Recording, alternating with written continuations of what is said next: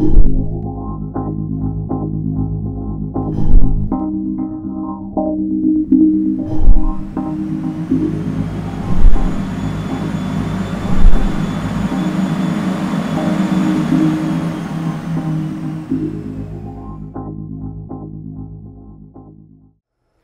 everyone, welcome to our first experiment in fluid mechanics. In this experiment, you will learn two things. Number one, the basic operation of C1510 Armfield wind tunnel. Number two, you will learn how to measure flow velocity, in this particular case, that's the wind velocity by three different devices. Turbine anemometer, pitot static tube with water manometer, hot wire anemometer. Let's first install those three devices into the working area of the wind tunnel. Let's install the turbine anemometer first. Remove this little cover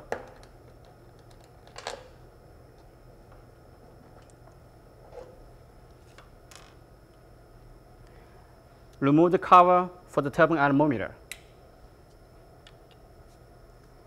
Slide this one through the foam cover. Mount this one to the working area. Remember to lock the device.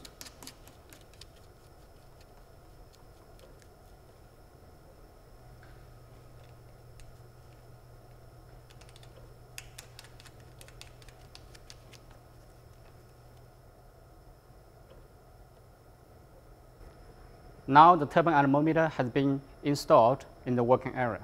Next, let's install the pitot static tube. Remove the middle cover. Carefully align the direction of the tube in the direction of the airflow.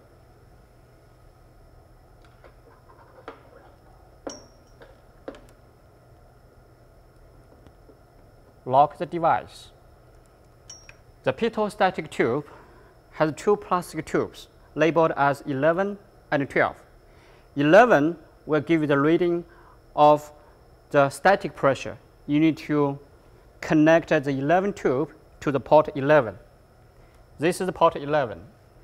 Push this one harder into the port when you hear the click, which means the device is locked. That's it. Then number 12. Number 12 will give you the reading of total pressure.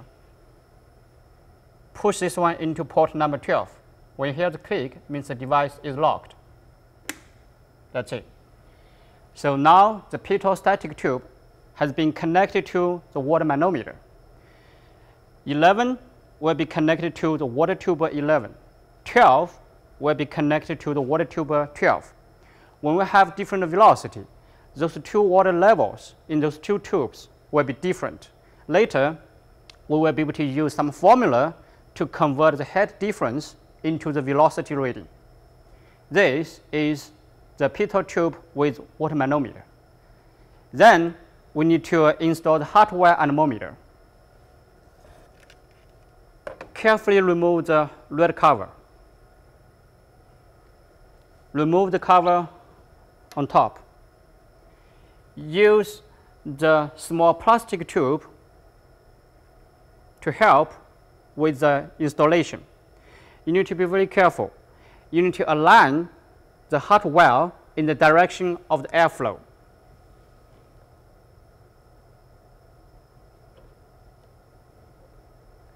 Lock the device.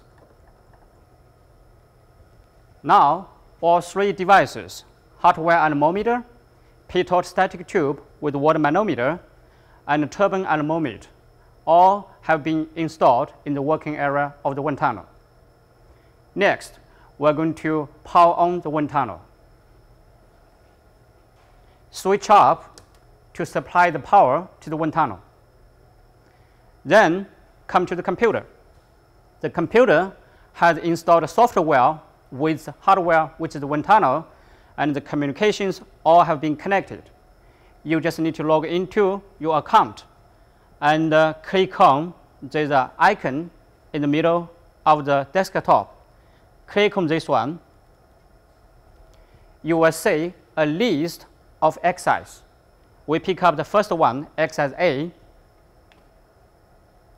click on load. You will see a little window like this. Then you need to change the ambient temperature of 18 degrees Celsius to the room temperature to 23 degrees Celsius here. The software will use this temperature value to do the interpolation to get those physical properties of the airflow.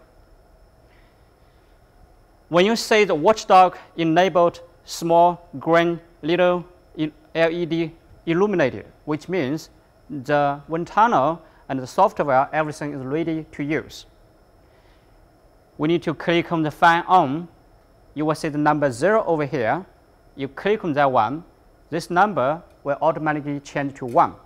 It means the wind tunnel now it's ready to use and you can increase the wind tunnel velocity by changing the numbers of fan speed from 0 to 20 percent. You will see the noise started. That's the fan turned on.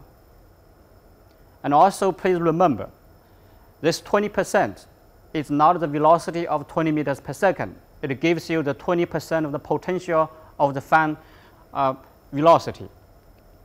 So now we need to turn on the hot wire anemometer. Push the on button on the hot wire anemometer. The hot wire anemometer will first do a self-diagnose. When the self-diagnose is finished, it will give you the reading of meters per second directly. Then we need to turn on the turbine anemometer. Push the on button. And we also need one of the group member to stand on the other side of the wind tunnel to keep reading the velocity from the turbine anemometer. And you also need to record the water level in tube 11 and tube 12. The difference between those two water level will give you the reading of the velocity. You will have to do this calculation later by some formula. This is 20 percent of potential.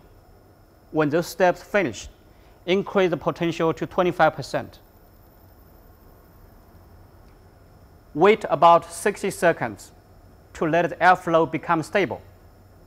When the airflow becomes stable, record the data one more time again from hot wire anemometer, turbine anemometer, water level in tube 11 and tube 12.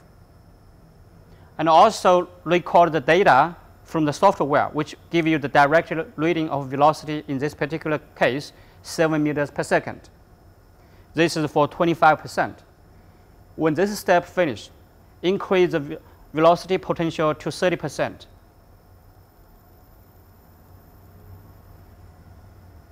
Wait for another 60 seconds.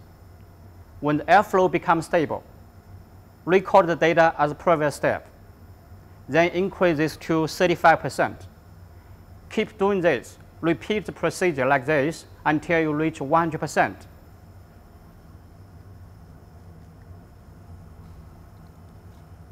This is 100%.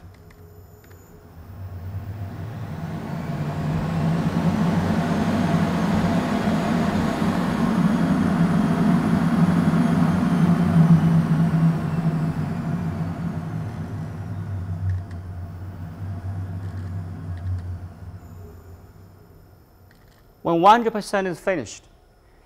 Gradually slow down the wind velocity by changing the potential to 50%, then 20%, then 0%. This will complete this experiment. That's it.